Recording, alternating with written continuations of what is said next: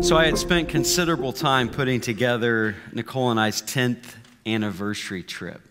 You ever been there? Like the big ones 10, 20, 25, and uh, actually for us this year it's 20.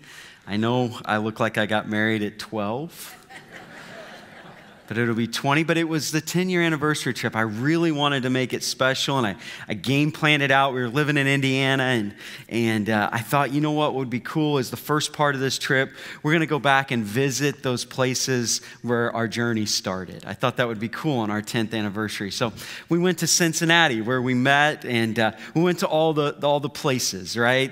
The place where we uh, first started talking, the first where we had our first date, uh, first kiss all that stuff, right? Planned it out, and uh, it was beautiful. And then the last part of the trip, we were going to come back down the Ohio River to Louisville. And uh, I had, had gotten a, a room at, at, the Galt House. I don't know if you've ever driven through Louisville, but it's right on the river. It's, it's a really cool uh, place to stay. And kind of the capstone of this trip for me was uh, right off of the Galt House, right on the river, was uh, these riverboat cruises you could do right? You know what I'm talking about? I don't know if this was called the Belle of Louisville or something like that, and this big paddle boat, and you could go on a cruise. And so I had, I had researched it all out, I carefully planned, and I found out that they had these moonlight river cruises from like 11 at night to 1 in the morning. Isn't that cool? That was a good idea, right? Come on. A little credit. And so, like, it was just going to be amazing, you know, finishing this trip before we head home and, and 11 to 1 on, on the river, and it was going to be so romantic, and you get the idea. So everything is going perfectly.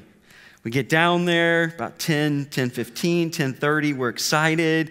We, we uh, check in. We find our place. And we're kind of the early ones, but you know, we're just like, uh, we're just enjoying this. We're looking forward to this couple hours. And um, I began to notice people coming in. And um, this is a moonlight romantic cruise.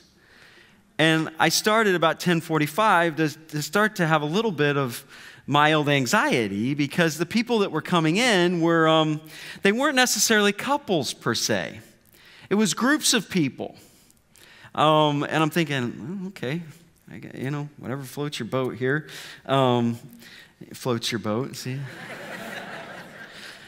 and, um, but also, what continued to give me a little bit more anxiety was the way that they were dressed. I was born in 1979, so I don't remember the disco days of the 70s, but that's exactly how they were dressed.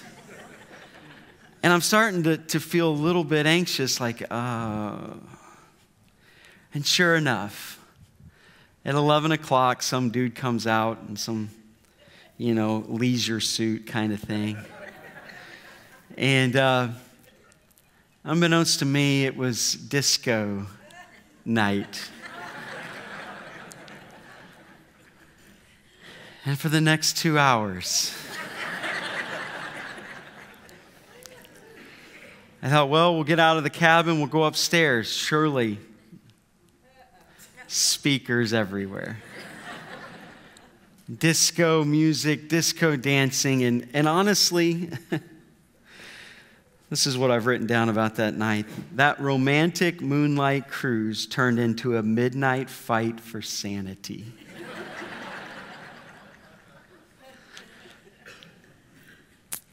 and today I want to talk about a topic as we walk through Ephesians that kind of is like that.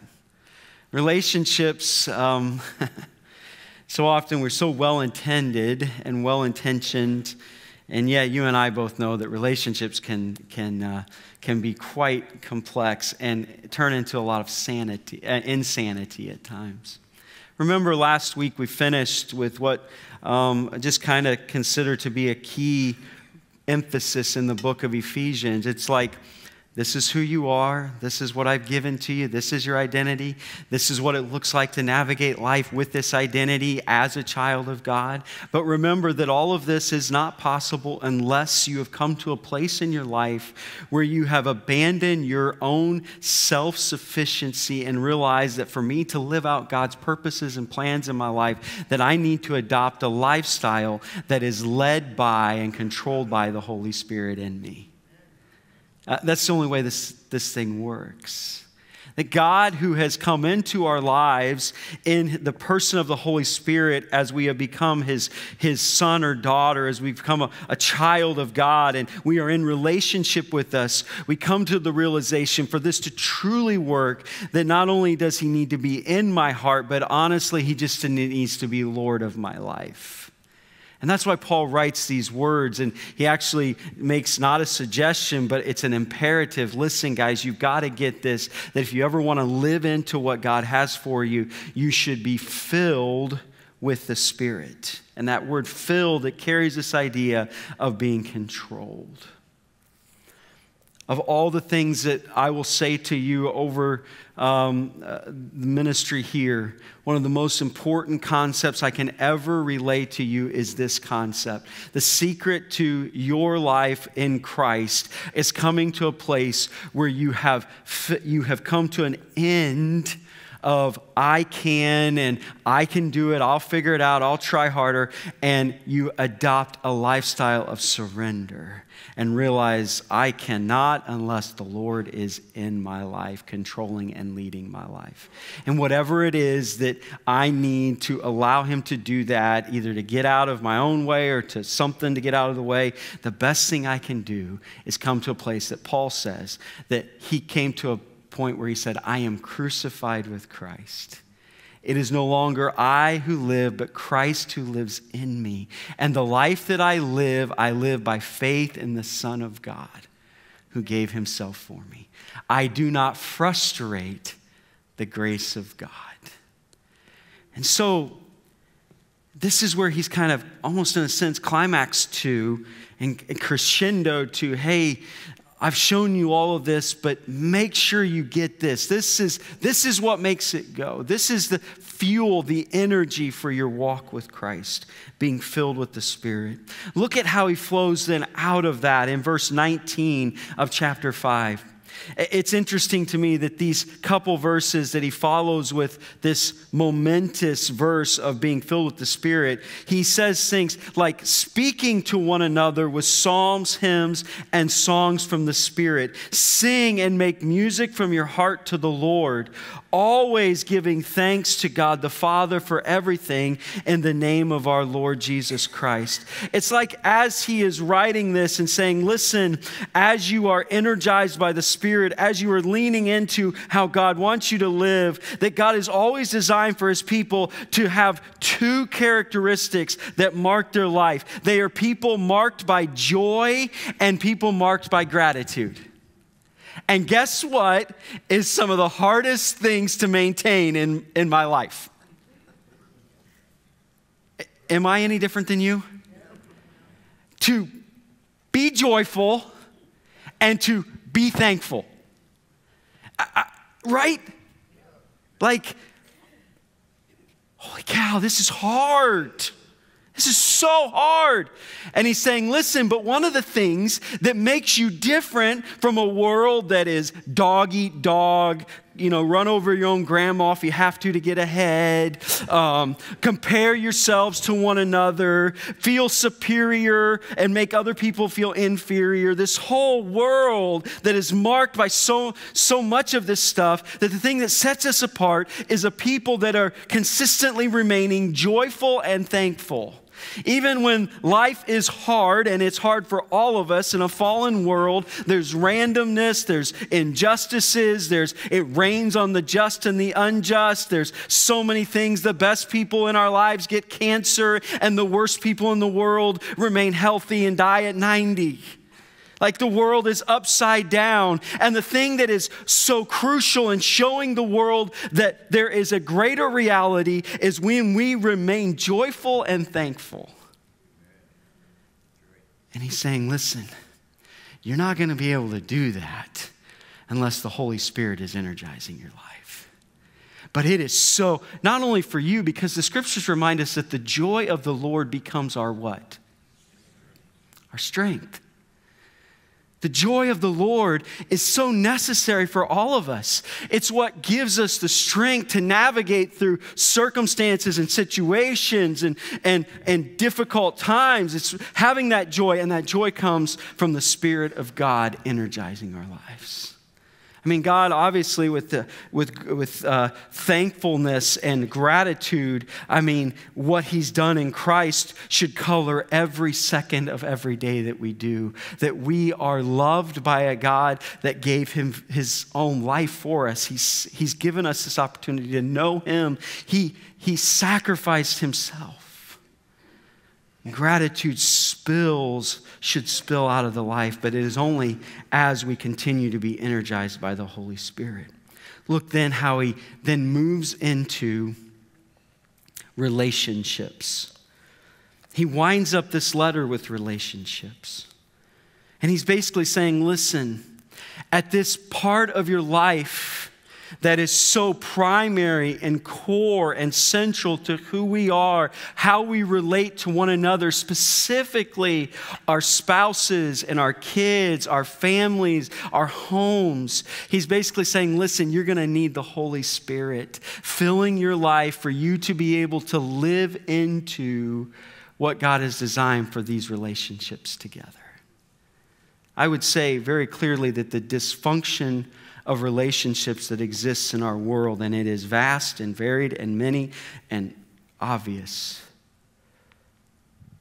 is in direct, is in direct correlation to the presence and person of the Holy Spirit being absent in our lives. And so he says, I want to talk to you about relationships. In your identity of being in Christ, being a person that loves God and loves others, that sees himself as a part of something bigger than himself, that sees uh, himself as a child of God, created relational in nature, just as, the, as our God, Father, Spirit, and Son are relational in nature as He created you that way, that you find your greatest fulfillment and meaning and purpose and enjoyment in life when you live in healthy relationships with one another. And he's saying, as I finish this book writing to you about relationships, I want you to remember that the Spirit is the one that's able to strengthen and energize you to do this. And this is how He asks us to live in relationship to one another. He says this in verse 21 Submit to one another out of reverence for Christ. Submission is, it's almost a curse word, is it not? How many love to hear the word submit? That's what I thought. Right? It's got a, it's a negative connotative word. Um, it, it's, uh, I mean, even in sports, you know, in the UFC, the way you win is you get your opponent to submit. That doesn't sound fun. That doesn't sound like anything I want to experience. What is this submissive word that he's calling us to? It's basically this taking on an identity that begins to believe in something that is bigger than me. I am willing to give up myself, so to speak, for the best of the we right? Like we get this in our modern era because we love sports. Sports are such a big part of our culture. And it's, it's so cool to watch a team come together. And in that team coming together, every player understanding that if we're going to win a championship, that there is a sense of where I put away some of myself for the betterment of the team if you like music, and I, I, played in some symphonic string and wind ensembles, like I think the trumpet's just amazing, right? But for us to make beautiful music, there were, there were obvious times, or most of the time, that I was called to play just some background melodies and harmonies, right? What, how ridiculous would it have been if every time I just started playing over everybody doing my own thing and always trying to play the, the lead line? That would not have been beautiful. It would have been terrible. Like we understand that to make beautiful music, there's a sense where we all find our place and let the music, right? You're following me today. That's the kind of idea of submission that Christ is calling us to, to be willing. This isn't some kind of, you know, have some negative self image of yourself and, and downplay your abilities and, and have a, have a, have a, a, a bad uh, a, a picture of who you are, that that's godly to. No, that's not it at all. It's submission is being willing to give up certain rights if the team needs you to do something for the betterment of the team. And in the body of Christ in relationships, truly the way that relationships sing and work and thrive and are healthy is when we adopt a I want to do what's best for you instead of a self centered posture. Can I get an amen? Because every one of us knows what that is, right? Right? How good do your relationships work when you make it all about you? Always about you. They don't, do they? They're terrible. They're dysfunctional. And that's why we live in a culture where, you know, half of our marriages are splitting. Uh, it's so much in this realm. I love what Paul said in Philippians, a, ver- a, book after Ephesians. He says this Rather, in humility, value others above yourself, not looking to your own interests, but each of you to the interest of others. This is what it means to submit to one another out of the reverence of Christ. There is, I'm just going to tell you, standing here, there is no way in the world Chip Bullock can pull this off. I can't do it. I'm too willful. I'm too um, caught up in myself. I'm too, uh, I'm, I, I'm too convinced I'm right. I can't do it. I cannot do it. And without Christ, I did not do it. And guess what suffered? Authentic, life giving, healthy relationships with others because I always got in the way. I can't do this. It was only when Christ came into my life, forgave me, gave me a new standing in Christ, gave me new life in Christ, and His Holy Spirit came in, and then I learned what it was to just let Him now lead and be Lord of my life, that I began to be able to adopt a posture, a disposition of others before myself. I realize that in a, in a, in a culture of self promotion and put yourself out there in your own brand and all that stuff, that this sounds very countercultural today. And for some, it's like, oh, this guy needs to shut up. Can I just tell you that the unlocking the abundant life for you that God has for you? To living into relationships that bring, that are life giving? It absolutely calls you and I to change our posture from self centered to other centered. And as we live in that kind of community, you know what happens? It comes back. You get what you're looking for. You find this, this, this peace and this love and this joy that comes out of relationships where there's value toward one another. Submit to yourselves out of reverence. Submit to one another out of reverence for Christ. You know, I've, i wanted to use this illustration last week, but this whole me trying to, to do this, it's like, remember the old game of whack a mole? Do they still have whack a mole in the arcade? Do they even have arcades still? it's disappointing, but um, remember whack a mole? Like you got the thing and you're hitting these, is it gophers or something? It's actually a violent game. Probably not, not a good, but like, and like as soon as you get one, the object is to, you know, not let one. Honestly, trying to pull off the good Christian life without the Holy Spirit is like a game of whack a mole. It's just you're always, because without Him, Lord of your life, something else, your self centered nature pops up. And you're just always, it's, it's exhausting, it's never ending, it's terrible, it's miserable. And part of that is learning and, and, and adopting an others centered instead of self centered disposition. So he's kind of set the table. All relationships are led with others centered. And then he takes about 11 verses to talk about that one relationship that is primary on this earth for most of us. And so let me read the words for you today. I know some of you are going to squirm as soon as I start reading. That's okay.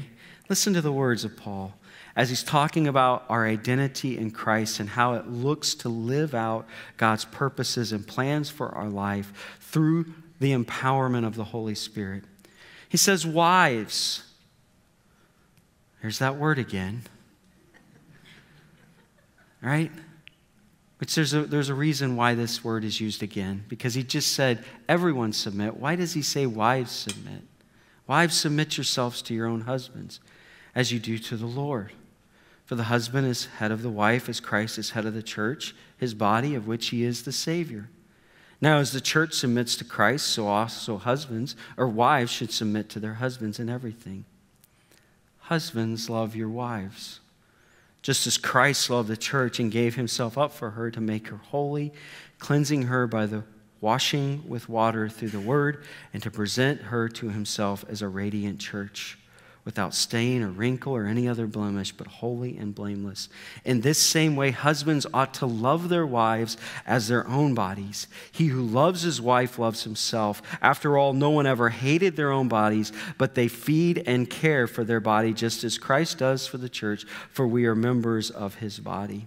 For this reason, a man will leave his father and mother and be united to his wife, and the two become one flesh. This is a profound mystery, but I'm talking about Christ and the church. However, each of you also must love his wife as he loves himself, and the wife must respect her husband.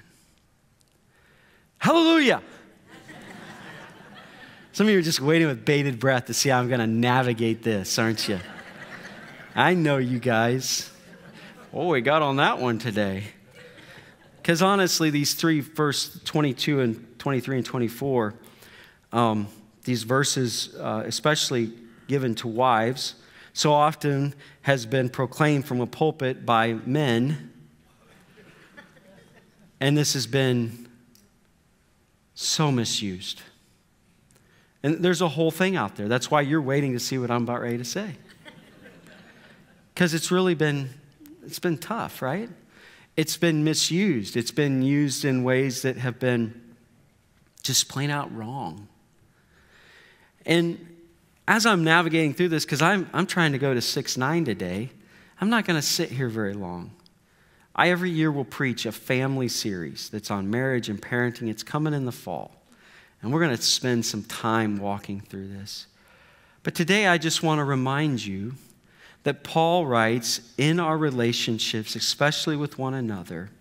He seems to identify the fact, uh, he's writing to people who honestly, you know, it's amusing to me that today, kind of the picture of, of uh, for some in our culture, of the church is, um, you know, has been chauvinistic. And I'm just like, really? The rest of the world? Do you know how they treated women for thousands and thousands of years? Like Paul is writing to a, in a culture in Rome where women were not valued. Like there, there, it was unequal value. In fact, it's the church and the gospel of Jesus Christ that, that stopped that. The world was full of it. Still, in today, in our world today, there are billions of people that subscribe to thought where women are not on equal value with men. That still exists in our world today, right? And it's actually Paul writing something better. And it's, it's like, hey, I just want you to clue into something. He, this is the one who's proclaimed there is neither male nor female, Jew or Gentile, like we are equal. It's the gospel that was the beginning of the women's rights or women's equality movement. It's amusing to me that we get branded in certain ways because of verses like this that are misconstrued and misunderstood. But he's basically saying, okay, guys, in relationships, especially this one, just be realize that the tendency of uh, all relationships need this love and respect going back and forth with one another, right? Like we need to feel love and we need to feel respected. And he's saying, I'm reminding you guys um, that, especially, you're this church that now says women have equal rights. And the, the culture around you is looking around, the Jews and the Romans are saying, What in the world? That's liberal. He said, I just want to remind you that in these relationships, that you continue to treat each other with love and respect. And he says, It seems like naturally that you don't need to tell women to love, they just love, right? Some of you are like, Not my wife. right? Women are nurturing, they're loving. It's like Valentine's Day just is right down their alley. And we're sitting there looking at those cards like, oh my goodness, I don't I'm a little uncomfortable with all these. And women are just like, ah. right? And he's saying, women who naturally love, remember that it's important that you are you're cognizant that your husband speaks a language that is a, a respect language. That's important to him. Like uh, th- there's a certain sense of a healthy, the healthy male ego. And he's saying, listen, that in proper life giving, healthy relationships, especially that central cornerstone one, ladies, just remember to speak his language. Don't forget to speak his language. You're gonna love him, I know that. But just don't forget to speak his language. And then he turns it around. And actually, if you look at this passage, there is considerable more instruction to men. And all the women said, Amen. like, yeah, you gotta, gotta hear it. Once and twice and three times. He's saying, Man, you, you speak this respect language, but you struggle to show love. Amen? I, I know I do. I mean, I, I feel, I sense it, I love, but it's, it's hard. That's why we have to be reminded about cards and chocolate and flowers and all that stuff. We speak respect language, but he's reminding him, hey, to live into the relationship that is bringing the most for both of you, you need to make sure that you speak her language, and that's love.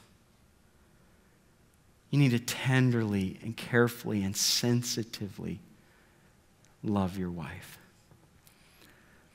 And especially in a culture in that day when it was ridiculous how men could treat women. And you could just divorce them if they didn't cook the meal right. I guess you can still do that today, but it's a little hard. You know, you know what I mean? Like it was okay. It, it, was, it was like they couldn't vote. They didn't. And so it was easy for men to just it seemed like it became a cultural thing for men to not value their wives. And as Paul was looking at him saying, Whoa, whoa, whoa, whoa, whoa, whoa, whoa. Really, how God has designed for you to live is not what it looks like around you. But it's to love in such a way it's sacrificial. It's actually to think of them before you think of yourself. It's actually in a willingness to do whatever is necessary to meet their needs and to make them secure and to know they're loved. As Christ loved the church and gave himself for her.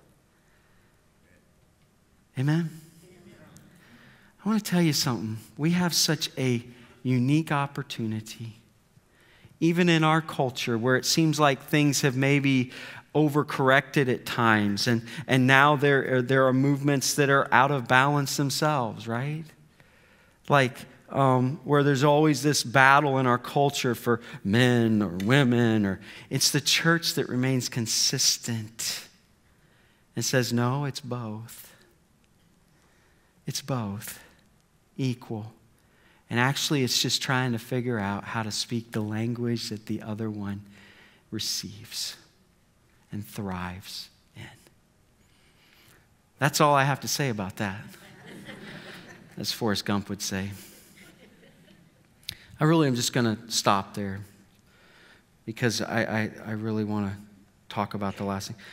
I just want to remind you that hubs, husbands love sacrificially, intentionally, and sensitively. Wives respect by trusting and encouraging. And I would say this love and respect flow in a relationship that avoids criticizing, contempt, defensiveness, and stonewalling. I've been married long enough that these words mean something to me. I know exactly what these words are, right? Oh, stop looking at me like I'm supposed to be perfect. but seriously, that in this love and respect going back and forth, and it's needed by both, and yet being aware that, hey, they speak love. I need to make sure I lean into that. That one of those ways is to avoid these pitfalls of criticizing, not necessarily a complaint says a specific action. Like this is one for me. There is no gas in the car. I'm aggravated. Do you think that's ever been said to me? Yes. I love to run the car down to the last. That's a legitimate complaint. Criticism becomes there's no gas in the car, you never remember anything. Com- criticizing begins to attack a person instead of an action. So often, our relationships, criticism exists, and then it, it snowballs into contempt, this kind of behavior that communicates disgust. You know, sarcasm, name calling, eye rolling, hostile humor, condens, uh, condescension. It's primarily transmitted through nonverbal behaviors.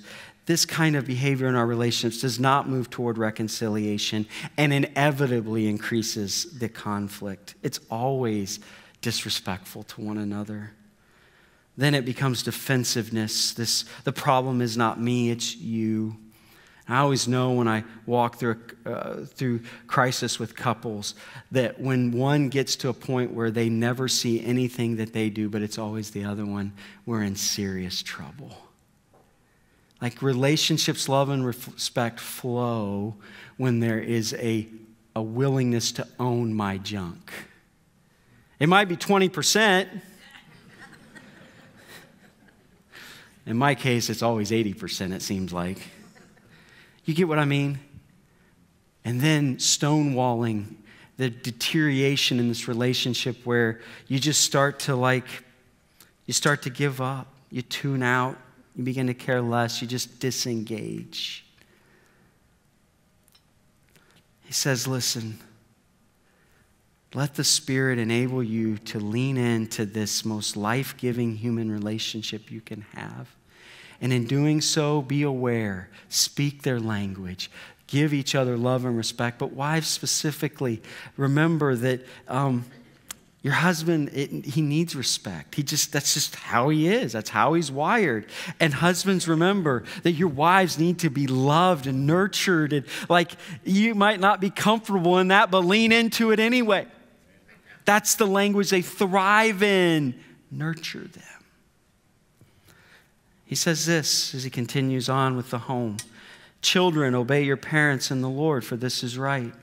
Honor your father and mother, which is the first commandment with the promise, so that it may go well with you and that you may enjoy long life on the earth. I don't even know what to say about this. It's kind of like, what else can you say? Right?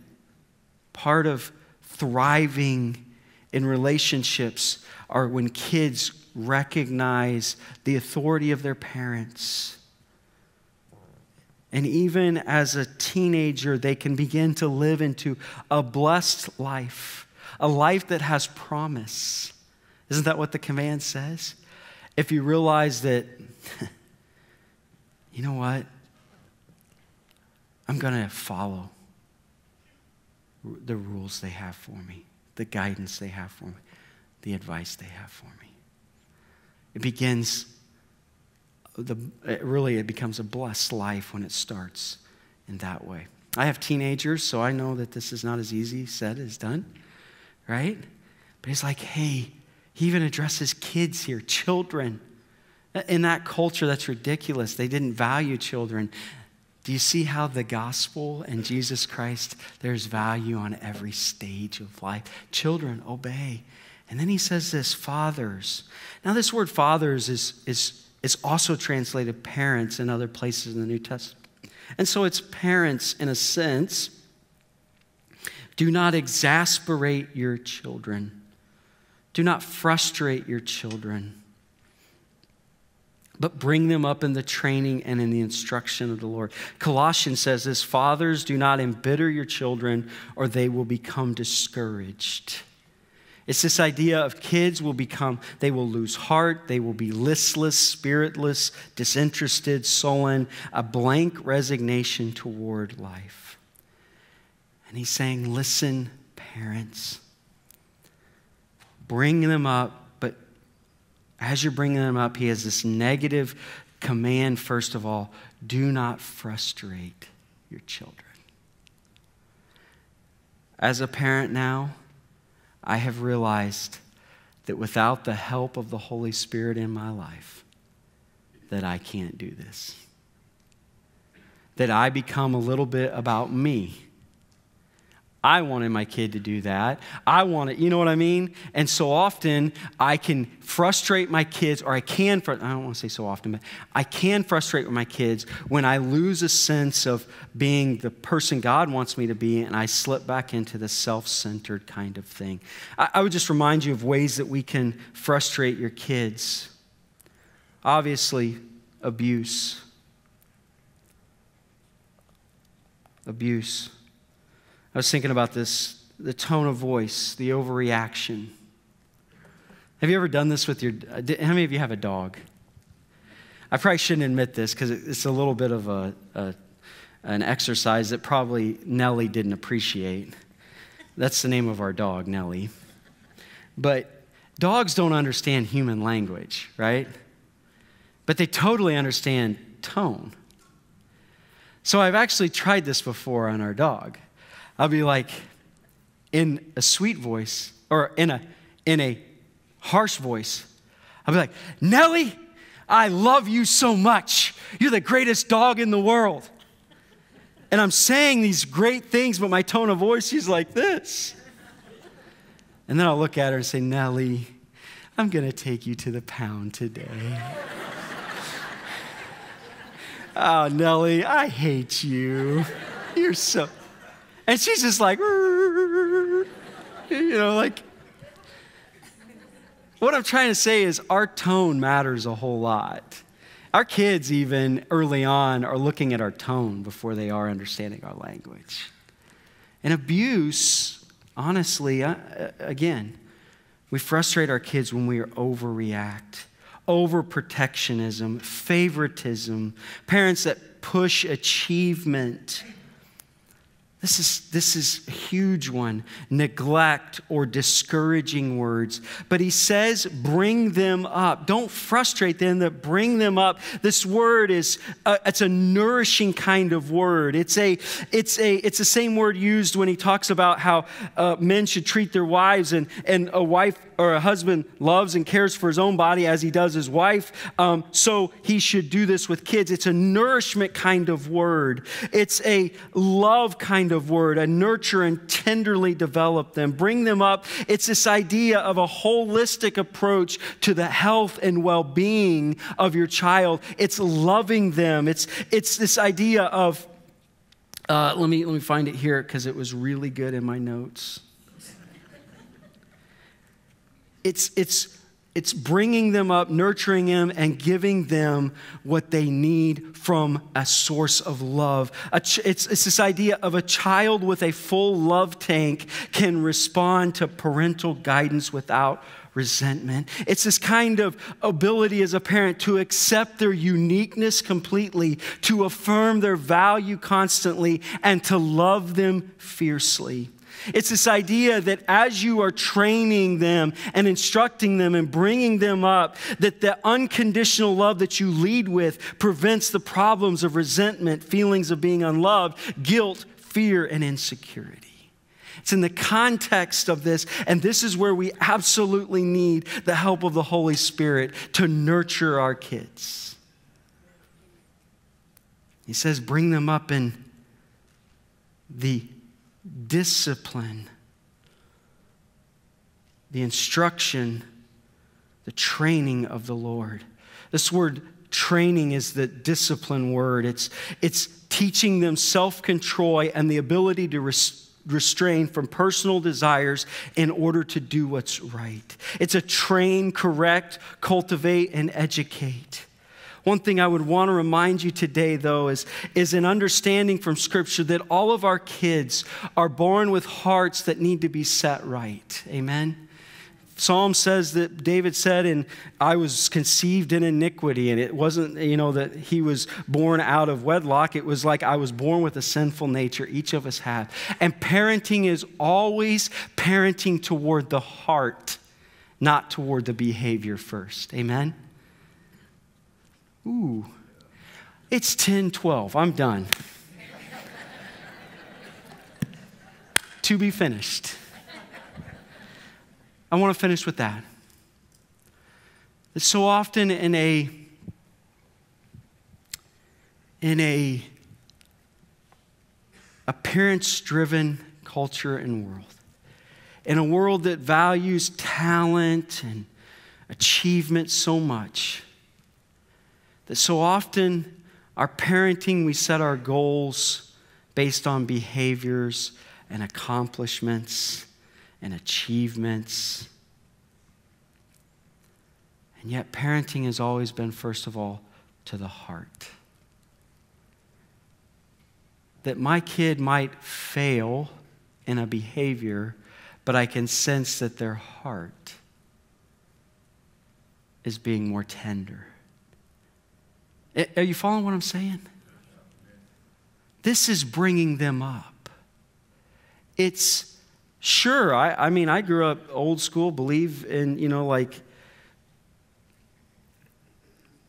behavior matters, okay? I'm not trying to say that. But I'm saying that, like, as we are training our kids, we're first of all interested in their heart before they are perfectly behaving in certain ways that our focus should always be on the heart first before behavior. Father, I pray today, uh, obviously, we're just going to have to continue with this next week, that you would, would continue to speak to us. Lord, in our relationships, uh, of marriage and our parenting. These are huge things. And Lord, I don't, we don't want to mess it up. We don't want to cause dysfunction. We don't want to live um, in dysfunction. We don't want to live well below what you've called us to. And Lord, as you've talked about this, you've told us that the thing that's necessary is that the Holy Spirit is energizing your life so then you can be this spouse that's life giving and this having this healthy marriage so that you can then be a parent who, who parents toward the heart, who brings up their kids in a nurturing, loving environment that gives them the tools necessary to navigate how to become a, a person who is responsible and who loves you and follows your will for their life. Lord, teach us how to do this and help us to see that we're never we're supposed to do this on our own. In fact, when we get in our own strength, we will fail and we'll have regrets so often. And yet you've promised that you would help us in these ways. Bless this time, bless these people, and bless us this week as we go out in, into our world in Jesus' name. And all God's people said, Amen. Amen. Thank you.